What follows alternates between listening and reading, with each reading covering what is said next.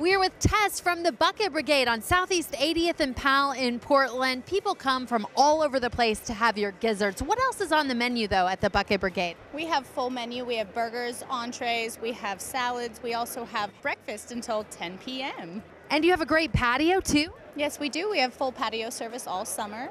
Okay, Tess from the Bucket Brigade, thank you so much. That patio sounds awesome. For more information, log on to doitnorthwest.com.